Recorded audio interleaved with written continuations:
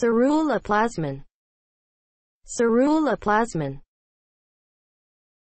a ferroxidase enzyme synthesized in the liver containing six atoms of copper in its structure. It is the major copper-carrying protein in the blood, and in addition plays a role in iron metabolism.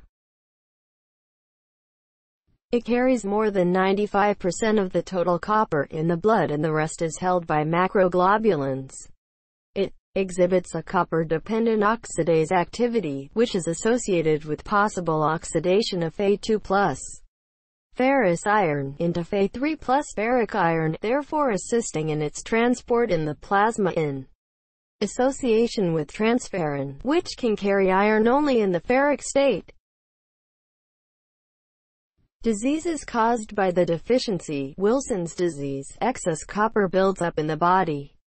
Due to ATP7B mutations delivery of copper into the lumen of the ER-Golgi network is absent in hepatocytes. Menkes disease copper deficiency. Due to ATP7A mutations copper does not cross the intestinal barrier. Occipital horn syndrome, the milder variant of Menkes disease. Cf. Hephaestin